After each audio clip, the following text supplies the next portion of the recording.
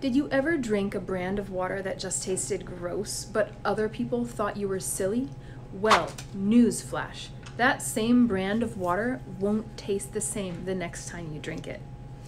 Now, some of my patients say that plain water just tastes bad, so they avoid it. But don't. It's all about the taste buds on your tongue. Your taste buds have memory and they're unique to your experiences with food. They sense flavors and are constantly remembering, adjusting, and sending signals to the brain about those flavors. Naturally occurring flavors are mild and don't shock the taste buds on your tongue. But if you eat super sweet, salty, sour, or spicy foods, your taste buds adjust to these extreme flavors, meaning that the threshold you need for food to taste good gets higher and higher so anything natural will either taste extremely disgusting or just plain boring.